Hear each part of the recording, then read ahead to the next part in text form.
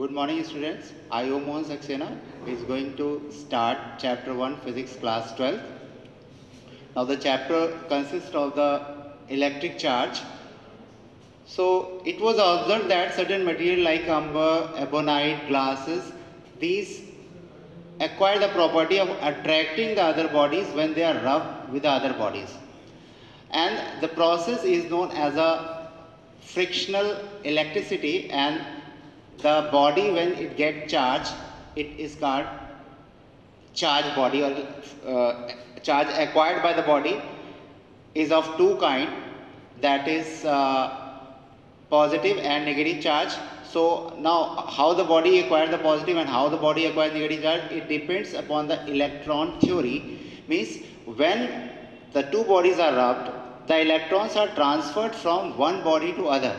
Means if a body A is rubbed with the body B, then the electrons are transferred from the body which is having higher electron density to the body which is having lower electron density. If the electrons are transferred from A to B, it means that the electron density of A is more than that of the electron density of B. Now the, the body which loses the electron acquires the positive charge and the body which acquires the electron uh, that is known as a negatively charged body due to the excess of electrons.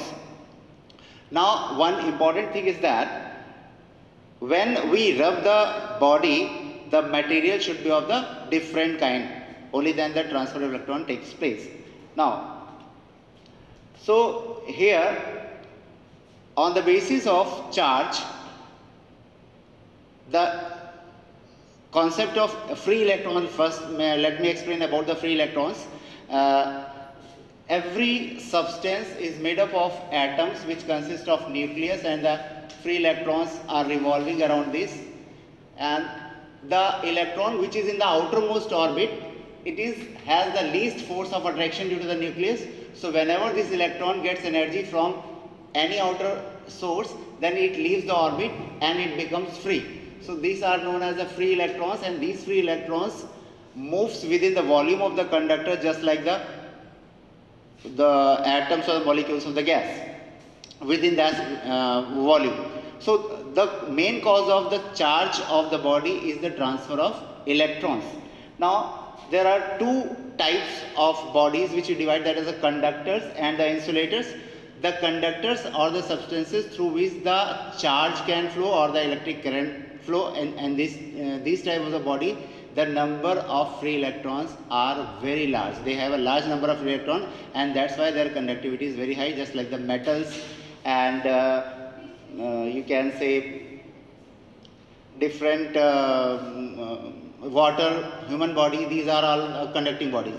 And insulators means the body through which the electric charge cannot flow. These are known as the uh, insulators or the dielectrics and these insulators do not have any free electron. That's why the conductivity is almost zero like wood plastic etc now in the case of electrolytes both positive and negative charges move in the form of ion for the conductivity. Now there are two process of charging the body. One is called induction another is called conduction now, in the process of charging a body through induction, in the case of induction, when a charged body is placed near the uncharged body without touching it, then the charge acquired by the uncharged body is of the opposite nature and that process is known as induction. Now, in the case of conduction, a charged body is placed in contact with the uncharged body. So, the free electrons from the uncharged body transfers to the charged body if the charged body is positive and the free electrons move from charged body to uncharged body if the charged body is negatively charged. So in the case of conduction the charged body is placed in contact with the uncharged body and uncharged body acquires similar charge as that of the charged body and in the case of induction the uh, uncharged body acquires opposite charge as that of the charged body. There are two basic difference in the conduction and induction. In the conduction, the charged body is placed in contact with the uncharged body and in the case of induction, the uncharged body is placed near the charged body and the charge acquired by the uncharged body in the case of induction is opposite while in the case of conduction it is the same charge. Now another uh, example for that the process now first we, uh, the process in the case of conduction and induction uh, the bodies which are insulators in that case uh, uh, the charge given to the uh, conductor is spreads throughout the surface.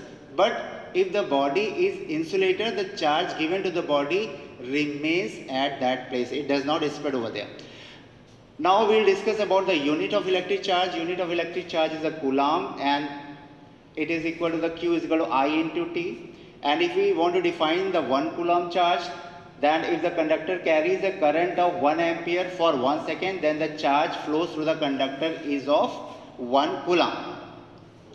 Now, now we'll discuss about the important properties of the electric charge. There are three main uh, properties. First of that the quantization of charge. Quantization of charge means that since we know that the charge acquired by the body is due to the transfer of electrons and the transfer of electrons takes place in the uh, as a whole means half of the electrons cannot be transferred. One fourth of the electrons cannot be transferred. So either one or two or three or four or hundred electrons will transfer. So the charge on any body is always integral multiple of charge of electron and this is known as a quantization of charge and it is represented by q is equal to ne and that is given by q is equal to ne where n is the integer and e is the charge of electron that is 1.6 into 10 to the power minus 19 coulomb and it is also known as the lowest possible or the elementary charge on a body. Now sometimes it is also given that if a body suppose given 8 into 10 to the power uh, 19 coulomb of charge so the question may be asked that whether this charge is possible on a body or not. So you find the value of n is equal to q upon e that is 8 into 10 to the power 19 divided by 1.6 into 10 to the power 19 minus 19. Now if this comes out to be integer it means that charge can be acquired by the body otherwise cannot be acquired by the body. So this is the quantization of charge. Another next one is the conservation of charge. According to this the charge on a body can neither be created, can nor be destroyed. It can only be transferred from one body to other. This is known as a uh, conservation of charge. And the third one is that invariance property. According to this property, if the charge is at rest, then when the charge moves, then the value or the magnitude of charge does not change with the velocity of charge. Means there is no effect of motion of charge on the magnitude of that charge. Means the charge at rest or the charge in motion, if the same charge moves, the value of the charge does not change. Now, we'll discuss about the Coulomb's law.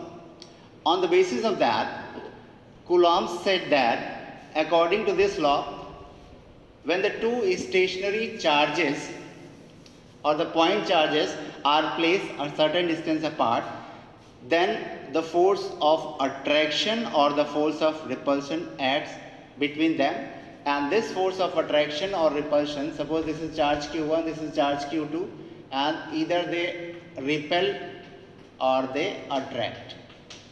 This force of attraction is directly proportional to the magnitude of product of the charges and it is also inversely proportional to the square of the distance between these two charges. So these two statements combined and form the Coulomb's law. Again I am repeating the Coulomb's law. According to this law, when the two point charges are separated by a certain distance, then the force of attraction or repulsion between the two charges is directly proportional to the product of the magnitude of the charges and it is also inversely proportional to the square of the distance between them. This is the Coulomb's law. Now when we combine these two statements, it becomes Q1 Q2 upon R square. Now when we remove the sign of proportionality it will be k q1 q2 upon r square. Now the value of k depends upon the medium between these two charges. Means in the case of air or vacuum the value of k is given as 1 upon 4 pi epsilon naught where epsilon naught is known as a permittivity of free space that is permittivity of free space and its value is 8.85 into 10 to the power minus 12. Now when we put the value so we'll get over the value of this this comes out to be 9 into 10 to the power 9 and the unit we can take as Newton meter square upon Coulomb square.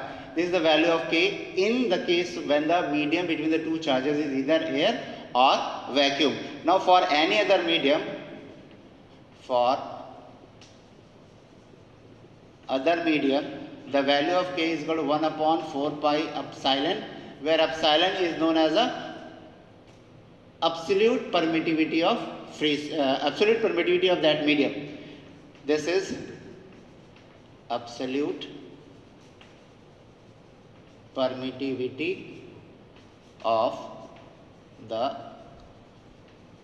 medium. And this value is also known as means since the value of permittivity for the different medium is different so the value of this constant changes medium to medium except for air or vacuum its value is taken as a 9 into 10 to the power 9. Okay. Now since this is a permittivity, absolute permittivity of free space, so there is a one more term defined as a relative permittivity and it is defined as epsilon upon epsilon naught means the relative permittivity or it is also known as a dielectric constant of the medium is the ratio of absolute permittivity of the medium to the permittivity of free space. So epsilon naught can be written as k epsilon naught. So in the place of uh, the value of force that can be written as F is equal to 1 upon 4 pi epsilon naught k q1 q2 upon r square where k is the dielectric constant or you can also write 1 upon 4 pi epsilon naught epsilon r q1 q2 upon r square. So these are for the medium other than air or vacuum whose either dielectric constant or the relative permittivity is given. Otherwise in the case of air or vacuum this constant is equal to the 1 upon 4 pi epsilon naught whose value is 9 into the 9. Now, so from here we can see that the value of force in any medium is equal to 1 upon k times of the force in air. Means if F naught is the force between the two charges in air and if that space is filled with any other medium of dielectric constant k, then the force of attraction or repulsion between that between the charges reduces by 1 upon k times okay. So this was the coulomb's law. Next we'll discuss about the uh, numericals based on these and electric field about that in the next video. Thank you. Have a good day